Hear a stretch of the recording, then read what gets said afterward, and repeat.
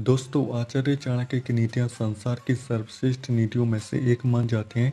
आचार्य चाणक्य एक श्रेष्ठ अर्थशास्त्री होने के साथ साथ एक मान राजनीतिक एवं कूटनीतिज्ञ थे।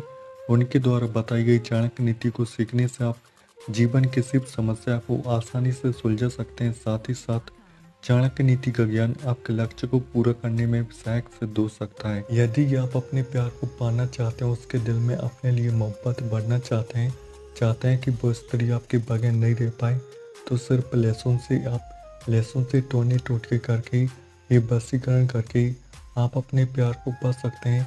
इसी लहसुन से आप किसी भी स्त्री को अपने प्यार में बेचैन कर सकते हैं, दीवानी बना सकते हैं।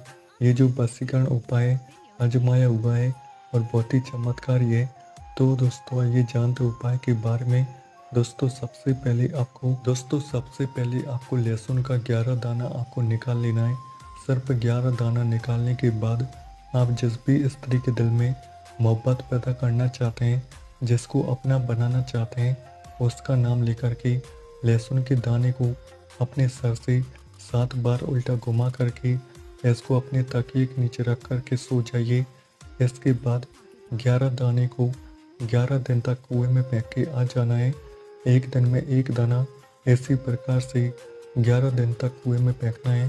फेंकते समय लहसुन के दाने को अपने सर से सात बार उल्टा घुमा लें और अपने प्यार का नाम लेते रहें।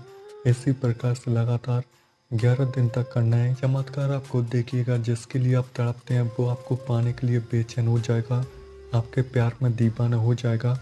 तो दोस्तों, इस उपाय को एक बार अवश्य करें, जिससे आप अपने प्यार को, अपनी मोहब्बत को अपने सच्चे प्यार को बस ही बच सकें। दोस्तों, आज के इस वीडियो में बस इतना ही। वीडियो आपको कैसा लगा नीचे कमेंट बॉक्स में ज़रूर लिखिए।